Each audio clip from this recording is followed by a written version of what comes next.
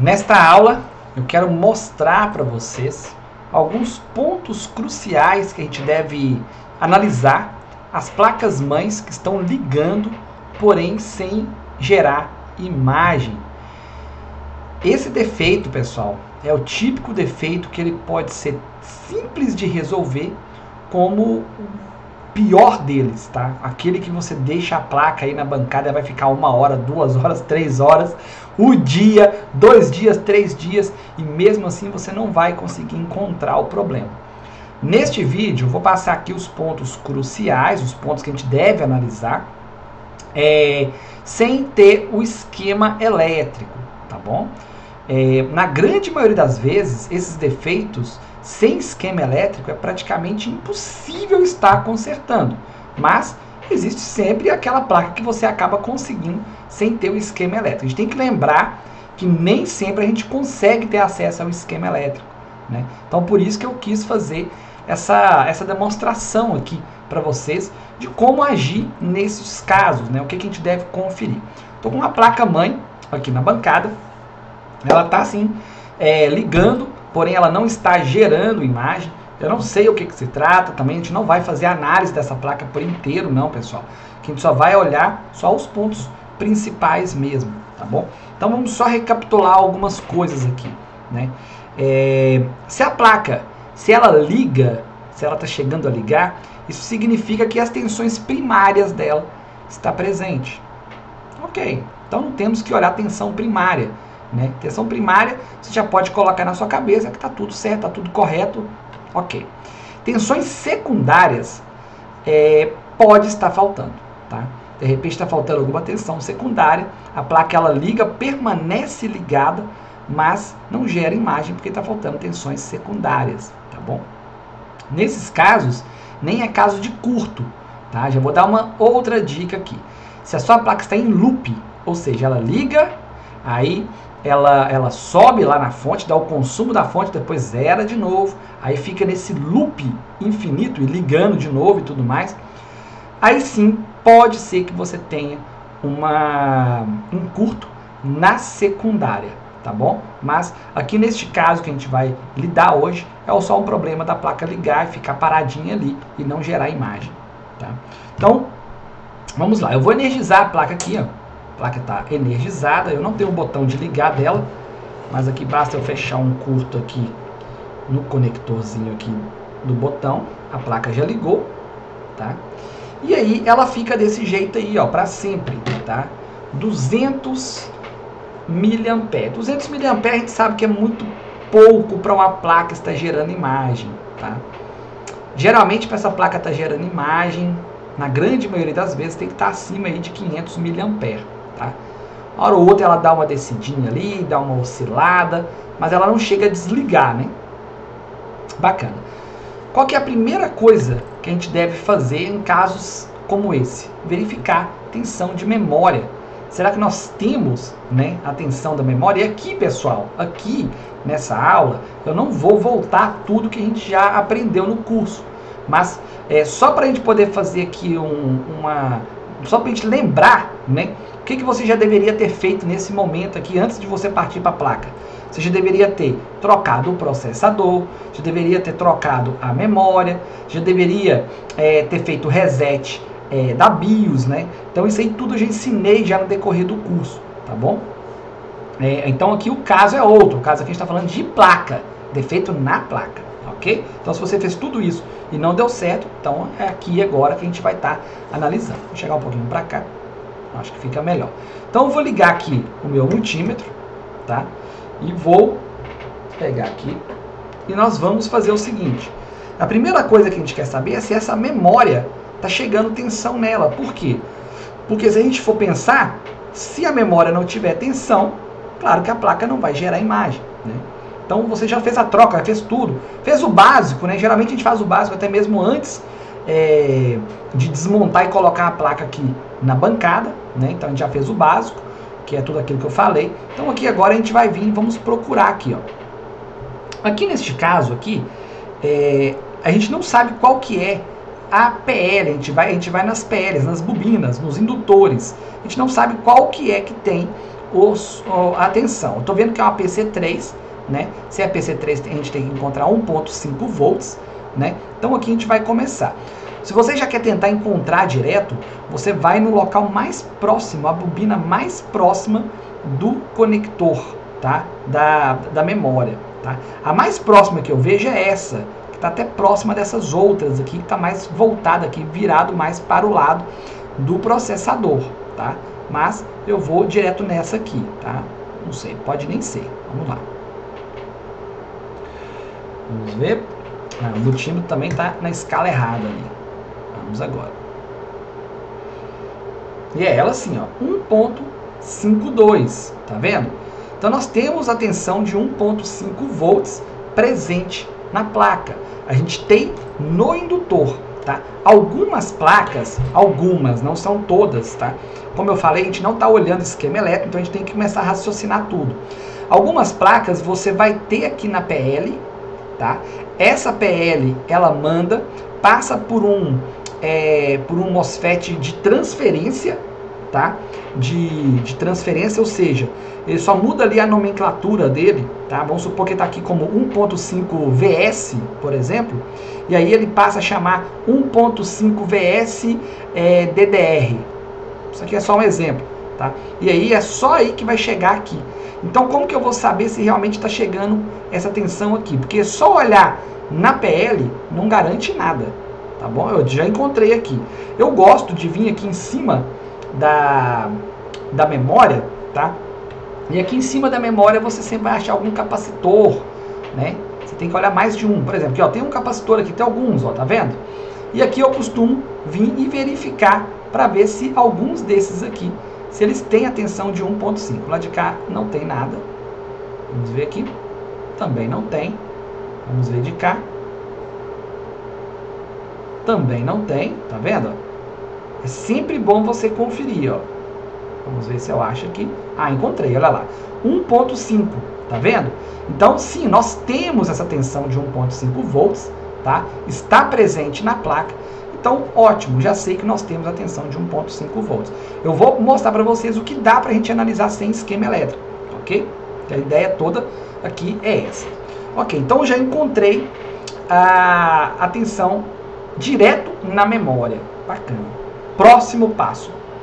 Se eu tenho essa tensão, né? Então agora a gente vai ver se nós temos é, nas bobinas próximas do processador, se nós temos alguma tensão nelas. Deveria ter, tá? Em todas elas tem que ter. Geralmente essas bobinas elas têm 1 volts até abaixo de 1 volts, tá? 0.800 milivolts, alguma coisa assim. Então vamos olhar aqui primeiro essa daqui, tá? E essa daqui eu não tenho tensão, ó. tanto faz eu eu encostar ou não lá, ó, o meu multímetro fica do mesmo jeito. Presta atenção. Não tem. Vou olhar dos dois lados, porque pode ser que o indutor abriu, o que não é algo comum, para falar a verdade, nunca peguei, mas para desencargo eu gosto de verificar dos dois lados. Não tem, tá? Vou olhar do outro lado, na outra bobina aqui também, vamos ver se nessa aqui tem. não tem, e aqui também não tem. Então pronto, a gente já conseguiu fazer um diagnóstico aqui. A gente já sabe que o processador não está recebendo a tensão que deveria estar recebendo. Sem tensão, logo, não tem como essa, essa placa estar gerando a imagem. Para poder gerar a imagem, precisa do, do processador. Né? O processador tem que estar é, funcionando e sendo energizado. Ele sequer está sendo é, energizado aí. Então, basicamente, se nós não temos a tensão de V-core, que a gente chama essa tensão de V-core, a gente não tem o V-core, então não, não, vai ter como. Alguns casos, vocês vão pegar uma tensão de V-core presente e uma tensão, é, são geralmente duas bobinas, às vezes até três bobinas, e uma delas sem, sem a, a, a tensão. Tá? Então, uma delas ou duas delas com tensão presente e uma sem. Geralmente, a que está sem a tensão é destinada à parte gráfica. Tá? É, mesmo que seja o processador, dentro dele tem a parte gráfica, né? Então pode ser destinada à parte gráfica. E essa parte gráfica, se ela não tiver atenção, quer dizer que não está chegando. O que, que pode causar isso? Né? O próprio PWM pode estar com problema, né? o PWM que gera essa tensão para lá. Lembrando que para esse PWM funcionar, deixa eu desligar aqui um pouco. Para esse PWM ele funcionar, pessoal, o que, que você precisa? Você precisa ter algumas tensões presentes nele.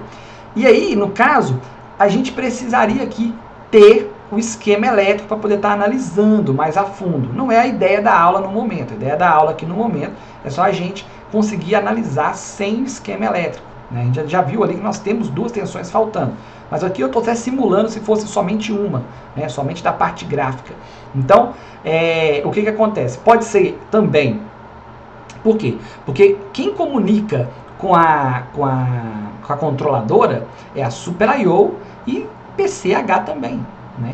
Então, alguns sinais vão vir da Super I.O. e outros da PCH. Né? A gente sabe que PC, PCH e Super I.O. elas se comunicam. Né? Então, pode ser que algumas vezes isso só para o setor aqui do VCore, tá pessoal? Estou falando do setor do VCore, tá? Pode ser que algumas vezes você regravando a BIOS volte a funcionar, tá bom? Por quê? Porque a gente tem que lembrar que a BIOS, a BIOS que eu estou falando, a BIOS da PCH, tá bom? A BIOS da PCH.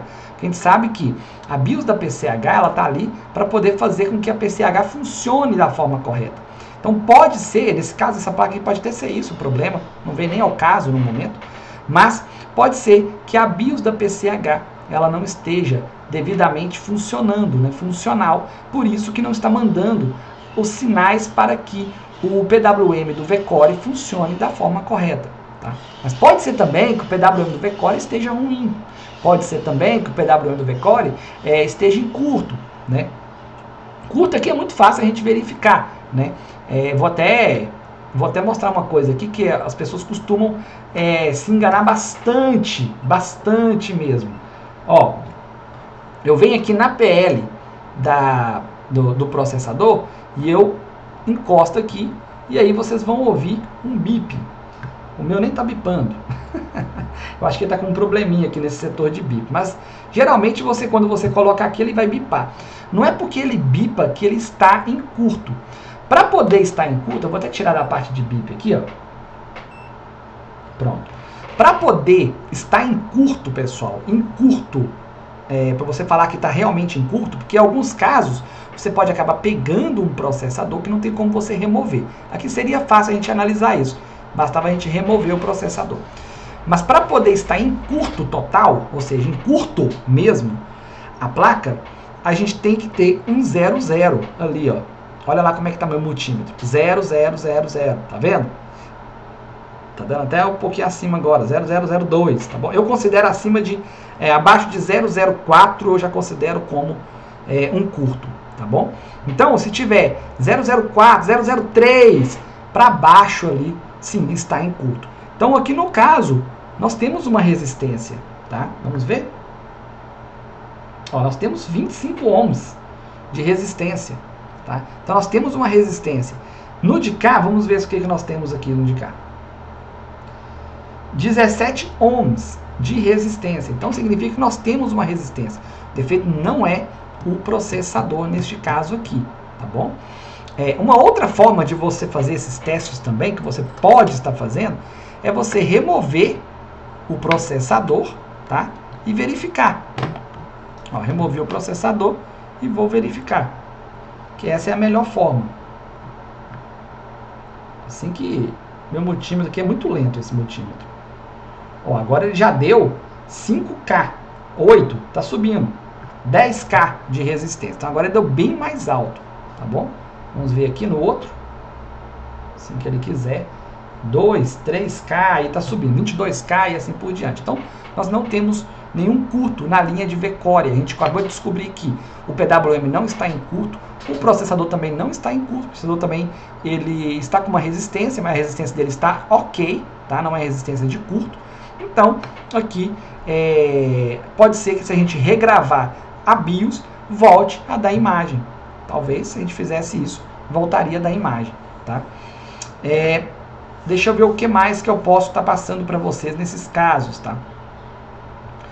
Uh, eu já falei da, do slot, já falei do processador. Ah, pode ser um defeito de processador, como eu já tinha falado bem no início, né? Você pode fazer a troca. Pode ser BIOS, né? Ou pode ser a própria PCH. Sim, a própria PCH ela pode estar ruim. Se a própria PCH estiver ruim, você pode regravar a BIOS e tudo mais, que ela não vai conseguir fazer a função dela de mandar os sinais, tá? Para que comece ou volte a funcionar aqui o PWM. Então, no caso, não vai dar certo, tá bom? Então pode ser também um defeito de PCH. Dá muito problema aquelas placas aonde tem é, o processador soldado na placa juntamente com a PCH, dá muito problema. Isso aqui dá muito problema de parar de dar imagem. E o problema ser lá, né? Aí só fazendo a remoção do processador barra PCH para trocar, fazer a troca dele. Nem é rebale, no caso é a troca mesmo que ele que, que se danificou, e aí sim você tem que fazer a troca e colocar outro, né, usando a máquina e tudo mais. E assim por diante. Ah, acredito eu, pessoal, que esses são os pontos cruciais. No momento eu não estou lembrando de mais nada, tá? Mas basicamente, sem esquema elétrico, é aqui que a gente tem que analisar. É assim que a gente faz essa análise, beleza? Então é isso. Espero que vocês tenham entendido. Se ficou alguma dúvida, alguma coisa, tá? Tentei lembrar de tudo que podia lembrar aqui para estar tá passando para vocês. Se ficou alguma dúvida, pode deixar aí nos comentários, que claro que eu vou estar é, sempre respondendo. Ah, uma coisa, você pode imaginar, será que pode ser a BIOS da Super I.O.? Não. A BIOS da Super I.O. ela já está funcional. Se a placa está ligando, a BIOS da Super I.O. já está ok tá bom? Aqui só pode ser a BIOS, se for o caso de BIOS, é a BIOS da PCH, beleza? Então é isso aí, um grande abraço e até a próxima aula.